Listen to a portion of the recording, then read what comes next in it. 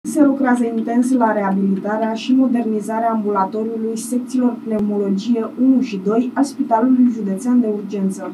Președintele Consiliului Județean Aladin Georgescu, prin intermediul unui proiect implementat de Consiliul Județean Mehedinți, contribuie la modernizarea infrastructurii de sănătate. Lucrările de reabilitare și modernizare ale ambulatoriului de specialitate din cadrul Spitalului Județean de Urgență din Robeta Turnu Severin sunt în plină desfășurare. Pereții au fost decopertați, se înlocuiesc instalațiile electrice, instalațiile sanitare și de încălzire, s-a decopertat acoperișul și se lucrează la construirea unui nou corp de clădire. Cetățenii sunt mai mult decât încântați de această investiție. Lucrări ample au fost desfășurate în ultimii ani în județul nostru, Mehedințiul fiind un șantier în lucru în ceea ce privește infrastructura atât în domeniul sănătății cât și în restul domeniilor.